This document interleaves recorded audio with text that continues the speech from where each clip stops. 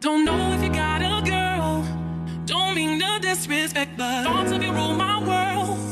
I even dream of you, I swear. Visions of you and. Hey my loves, welcome back to my channel. So I'm here with another video. If it's your first time coming over to my channel, thank you so much for tuning in. My name is Dionna Marguerite. I hope you will love what you see. You hit that bell and you hit that subscribe button as well.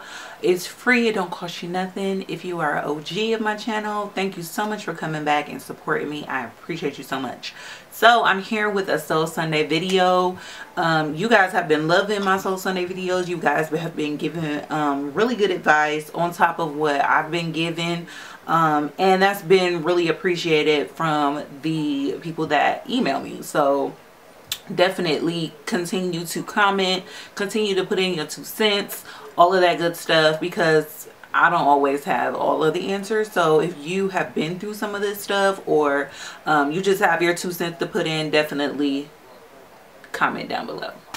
All right, so this one, um, I read it previously and this is a one that I don't want to get too riled up about um, because a lot of people could have way different opinions on it.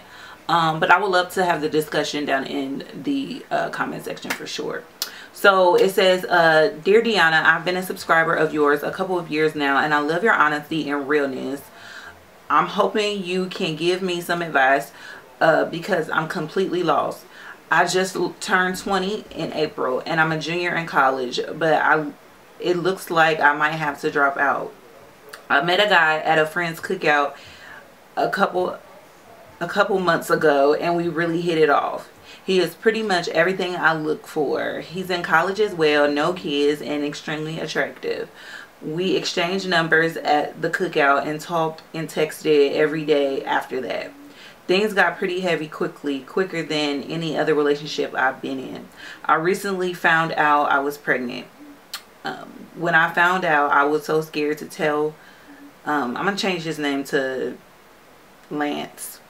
Um, I was so scared to tell Lance, but I felt like I had to. I called him and when I told him he was silent. So I so I said, "You you don't have nothing to say?"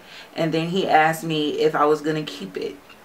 I was initially hurt, but he went on to explain that both of us are still in school and he knew neither one of us was ready to be parents. I felt bad because I agreed with him, but on the other hand, I was hurt that he could just say get an abortion. He even went on to say he would pay for it. I told him okay and he cashed at me the money to get the abortion. Now I'm having second thoughts because I just never see myself having to get an abortion. Do you think I should keep my baby or go through with the abortion? Jo mm uh, what did I say? Lance keeps texting me asking when my appointment is and just getting on my damn nerves. It's hurtful because I really thought we we was better than this. Any advice you could give will be appreciated because right now I'm so confused. Thanks. And I'm going to call her Lisa. So Lisa is pregnant by Lance that she met a couple months ago at a cookout. First of all, Lisa, I'm not going to judge you. First of all, because look at the situation that I'm in. Um, I've been very uh, forthcoming with all of you guys, my subscribers, pretty much the YT period, um, about my situation and what I'm going through. Um, now, I had known my child's father a lot longer than a couple months, but we had stopped talking and then because I had recently got out of a really toxic relationship and he kind of so quote unquote rescued me out of that type of situation. And made me feel I was pretty much very vulnerable during that time. And when I met back up with her father. And uh, we ended up you know doing the do obviously and making my baby. So um, but we had only been back rekindling things for uh, only a couple weeks. So it was like, girl, wake up. How silly can you be? And I'm a lot older than you, so I should have had more sense. but let me tell you one thing I cannot give you the advice that you might be looking for, Lisa, because I can never tell somebody whether to, I wouldn't feel right in my spirit to tell somebody else if they should get an abortion or not get an abortion. I am not neither for or against abortion. I've never been in a situation where I felt like I needed to get an abortion, so I'm not the type to judge another person because they feel the need to get an abortion. Um, only because, um, like I said, I've never been raped. I've never, um, you know, thank God I've never been raped. I've never been in that type of situation, like I said, to feel the need to get an abortion. But, um, yeah, I know there's some people, and there's probably some people watching that will that are very adamant about pro-life and you should never get an abortion. You you just can't do that. You knew what you was doing when you laid down type of situation. So what i will tell you is you need to pray about this. You need to um, weigh out all of your options. Um, meaning um, if you were to continue to on with your pregnancy what you could do if you don't want to keep your child. There's um, adoption. Um, so there's a lot of people out there who are unable to have children who would love to welcome your child into their home and adopt them. So if you really feel that you are not ready and Lance is not ready to be a father um, then yeah you might want to seek think about adoption especially if um, abortion is something that you are you know are going back and forth about. I feel like personally if you are indifferent about any situation is or um, any um, decision like this if you're indifferent about it that much i feel like i don't know I just feel like if you're that indifferent about it, you should definitely not do it. And like I said, I just said that I didn't want to give you that advice. But at the end of the day, um, if you're not 100% adamant about something, I feel like you should never go through with it. Just give it some more thought. Definitely. I don't know if I would have took the money from Lance as far as, because, you know, these niggas out here are quick to give a female the money for an abortion but it was it was so much cheaper for you to go out and get a box of condoms. Like you would rather pay for an abortion than go and get you a box of condoms because it feels better when you don't use a condom. Get like that type of stuff really irks me. Really irks me and then they they want to put all of the we have to carry the emotional baggage of having to get an abortion and sometimes the physical baggage of having to get an abortion because it's not all peachy. You know you might have a lot of um, side effects that comes along with abortions. You just never know. Definitely do your research lisa for sure on how you will feel mentally and physically after a, an abortion. Um, some people definitely never get over that guilt. Some people um, you know feel like it's there is it's the right decision. So like i said do your own uh, research and think about this. Um, do i think lance is for you? You didn't ask me but i'm giving you this advice anyway. I don't think that lance is for you. Um, now there might be people that disagree with me um, because i guess he was nice enough to give you the money for the abortion but oh lord. But let me tell you something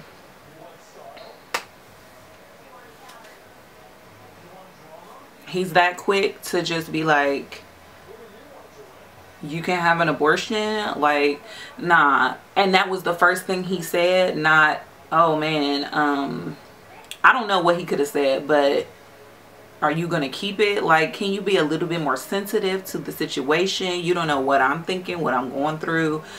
Being pregnant right now uh, you know he could have asked how you felt like something uh, but I'm not all, all going to put it all on him either because at the end of the day, we as women have the ultimate authority to be like, you know what, I'm keeping my legs closed. Or if I don't feel like keeping my legs closed, you're going to wear a condom. Because I could get pregnant. I'm 20 years old. I'm very much fertile, probably, unless you have something else going on. You're very much fertile at 20 years old.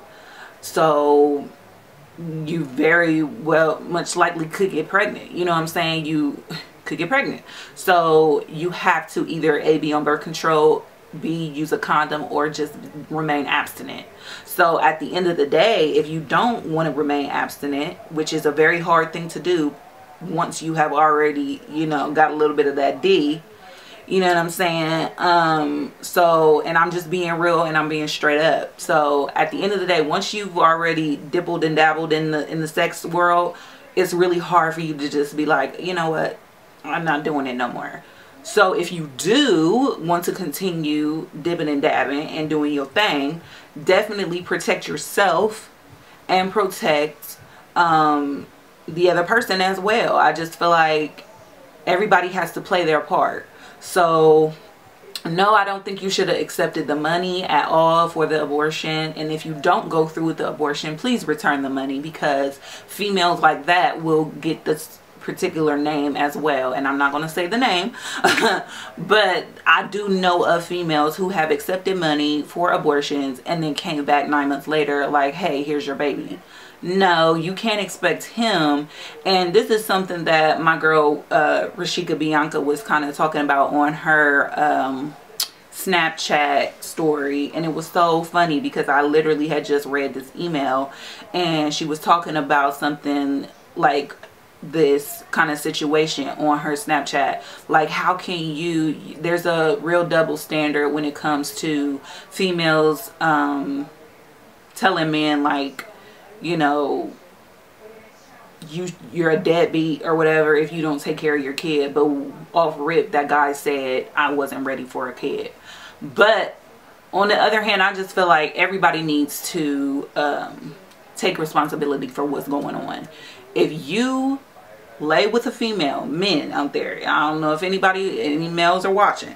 If you lay with a female and you are not protecting yourself. Not only are you exposing yourself to all types of you know um, sexually transmitted diseases but you're all you're just asking for a child as well. Because not only are is she extremely fertile but you probably have hundreds of millions of little spermies that are young and and swimming straight up to her egg and they could it could fertilize okay? So at the end of the day both parties are just as uh, are just as responsible for what happens um, after you lay down period. So at the end of the day um, you be, you be I know how it is. Like I said, you be in the heat of the moment, you do something, and then oh, a few weeks later you find out you're pregnant. Like it's it's very difficult um, to and you didn't tell me if this was a one-time thing or if this is something y'all just continuously screwing like it that's not my business but what i'm saying is take the time to think about all your options, Lisa. Definitely think about all your options. Think about adoption.